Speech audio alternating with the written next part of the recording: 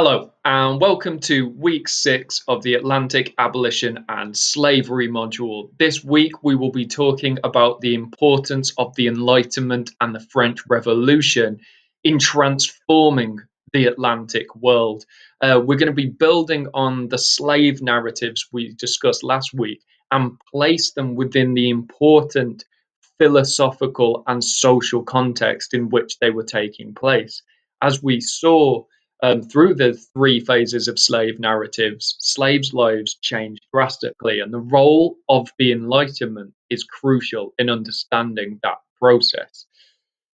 But before we talk about the 18th century Enlightenment, we need to go back to the 17th century, which is really where the philosophical origins of the Enlightenment begin through what is known as the scientific revolution of the 17th century. Now, I've kind of passingly mentioned this at times throughout um, the module, but I'm going to go into a little bit more detail now. The scientific revolution is important because it challenges the doctrine and dogma of religious theology, which is the most, at that time, was the most important kind of structural institution of Europe. And I've included some of the most important figures who began to promote critical thinking in this time period and really transformed the way that people began to perceive the world around them. So, the individual below me, whose head I'm slightly cutting off, is Johannes Kepler. And Kepler observes the stars and the universe and he comes up with a theory which he describes as celestial Philip, not Phillips, physics. And what he is talking about in celestial physics is how the planetary uh, systems and uh, the motion of planets interact with each other. And this is controversial because the way he says that the universe moves and interacts contradicts Christian theology and the place of the earth in the universe. It is important to note, though, Kepler is incredibly religious and he believes the forces behind the universe and the way that the planets move are um, designed by God.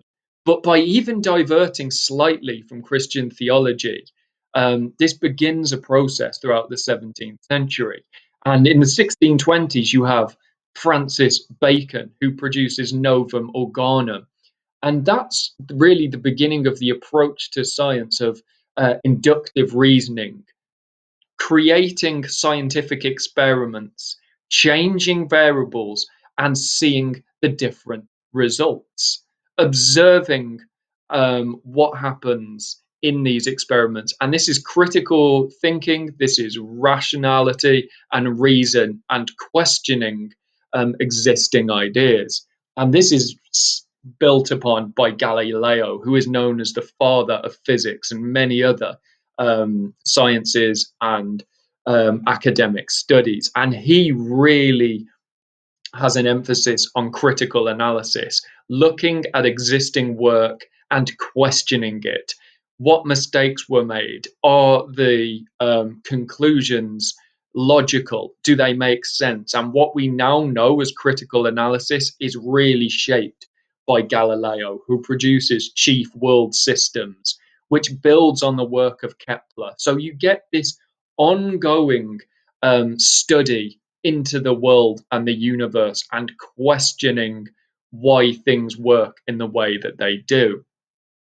And um, by the 70, 1680s, you have Isaac Newton, who is famous for his theory of gravity.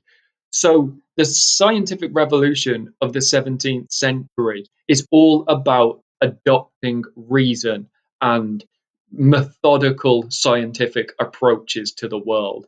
And this really lays the foundation for the Enlightenment. The Enlightenment, in many ways, is a philosophical extension of the scientific revolution um, and a series of high profile authors in Europe begin to apply scientific method not just to physics, chemistry, and biology, but to social structures.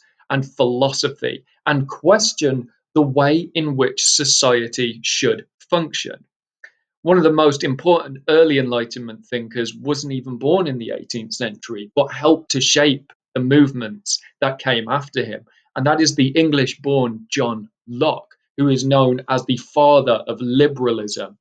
And John Locke is important because he comes up with the theory of social contract. And what social contract is, it's the idea that everyone is born into an unwritten contract with the state of the country they are born into. So I will have born in, been born into a social contract. John Locke would have been. Anyone watching this video would as well. And the idea is when you are born, you give up a number of liberties and freedoms in exchange for protection from state. So I was the law does not allow me to kill anyone and as a result, I am allowed to go about my everyday life. However, if I was to commit a crime, I would be put in prison, separate from society. And Locke begins to question whether or not the rule of absolute monarchs in Europe was working and whether it was a fair contract between citizens and the people ruling them. And obviously, 17th century England is affected by these ideas heavily. Um, you get the civil war that takes place in England, where a king is overthrown because Parliament and the people do not believe that it is a constructive relationship. And Locke is interesting because he says that anything that he um, writes that is proved to be untrue after him, burn it. It is all about the progress of thought.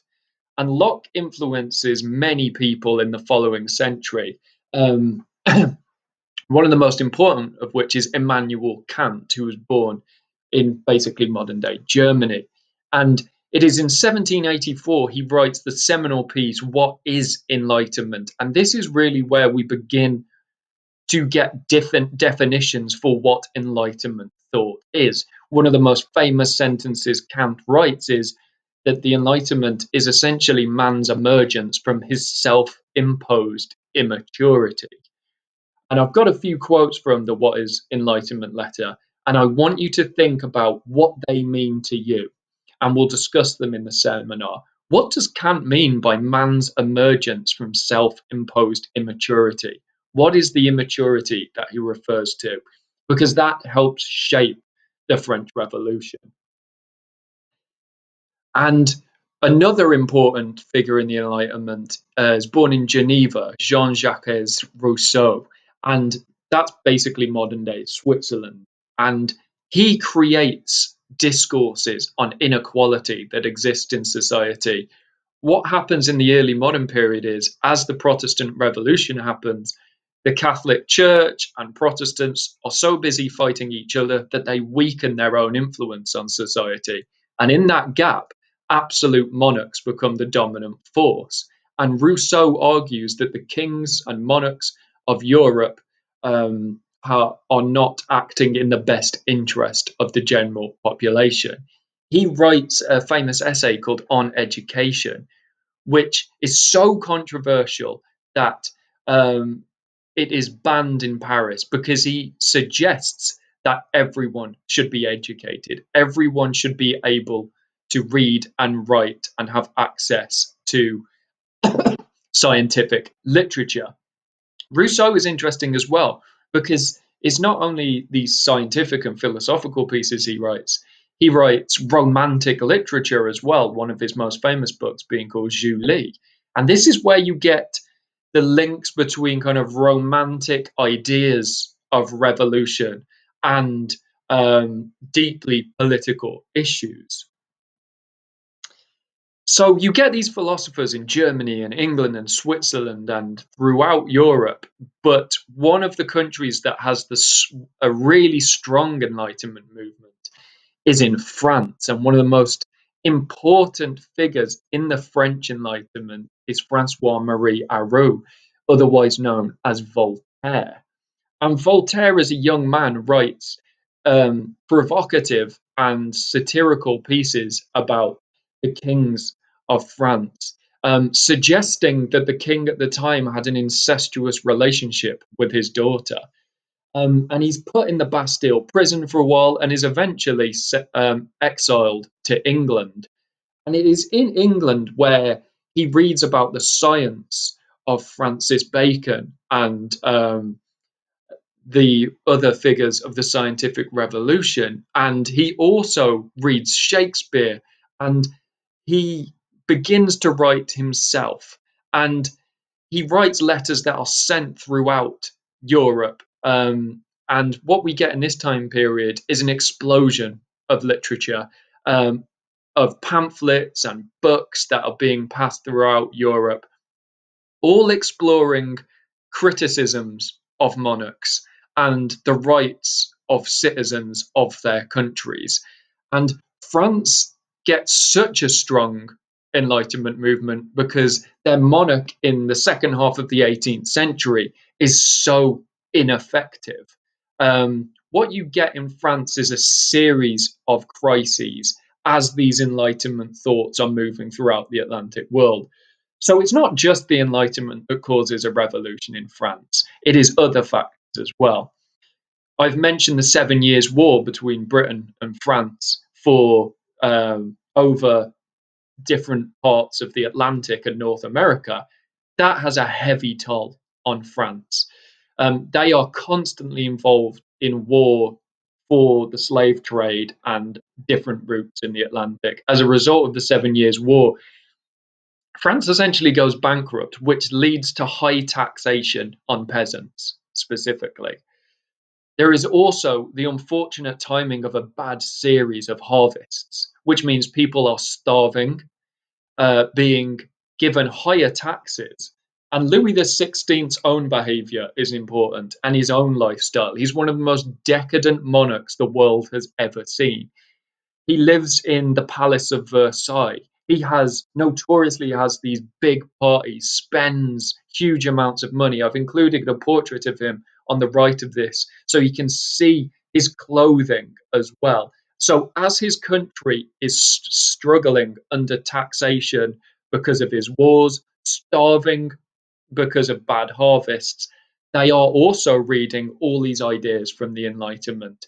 And there is a reaction, a very quick reaction in the seven, late 1780s, early 1790s against the way that Louis is behaving.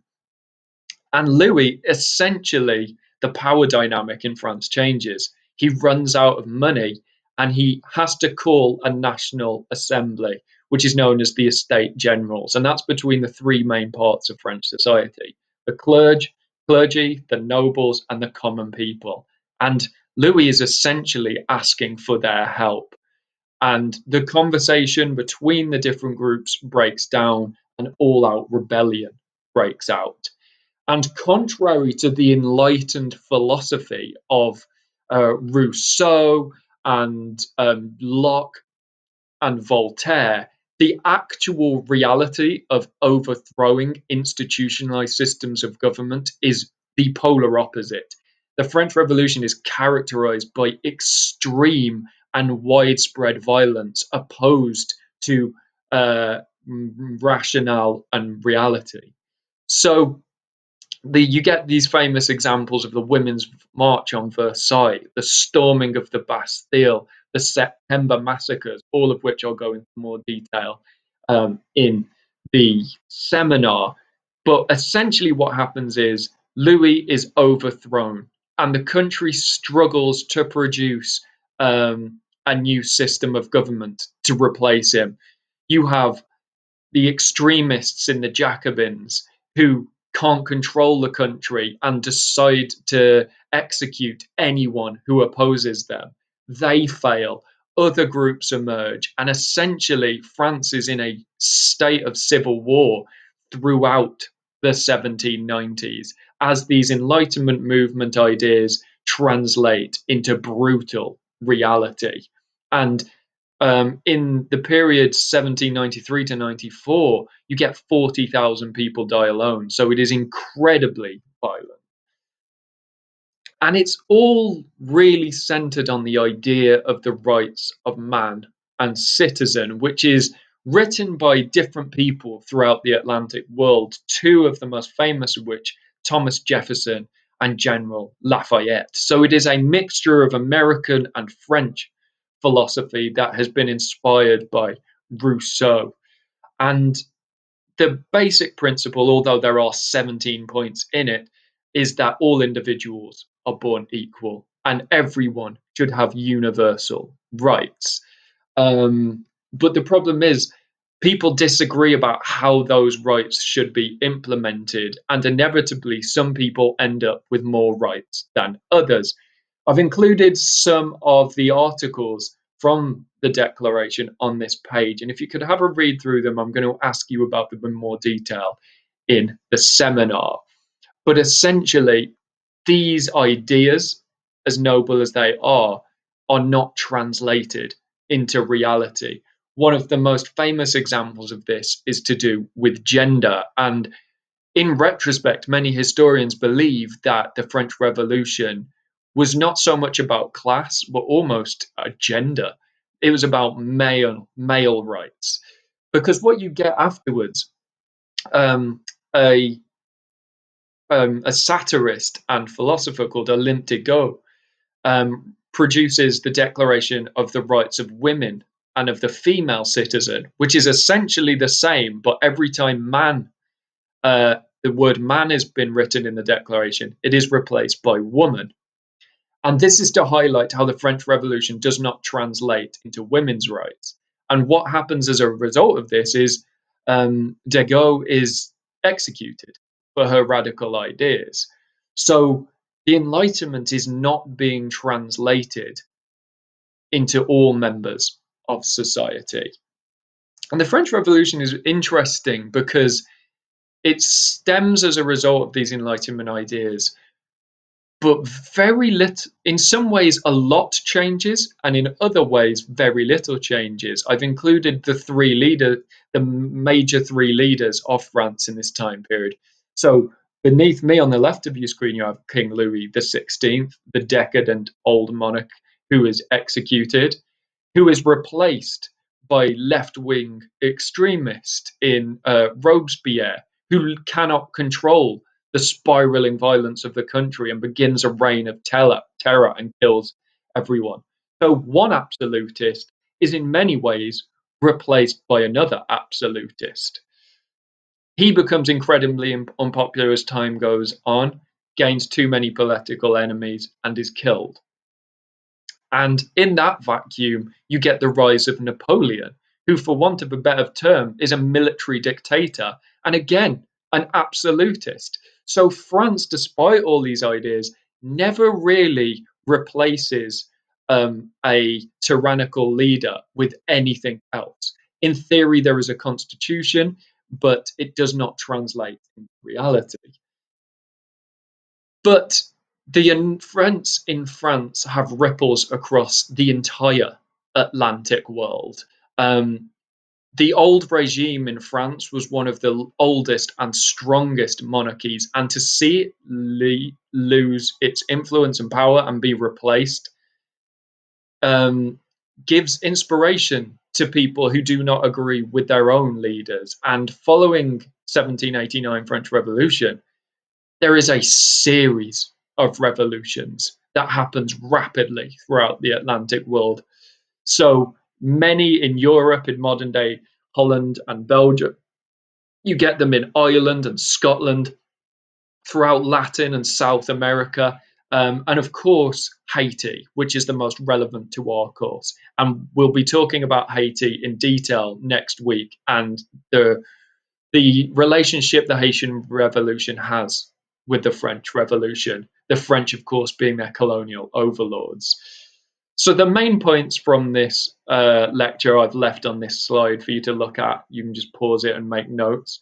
Um, but for the seminar, I want you to read Laurent Dubois' An Enslaved Enlightenment, Rethinking the Intellectual History of the French Atlantic. And that's a really interesting article about the origins of the French Revolution and the role of enlightened thought. It's only 14 pages, it won't take long. And then I want you to think about the three following questions. One, what was the origins of the French Revolution? Two, what is the relationship between the Enlightenment and the French Revolution? And three, what was the impact of the French Revolution on the rest of the world and slavery specifically? So think about those questions, read the article, and I'll speak to you uh, next week in seminar. Thank you.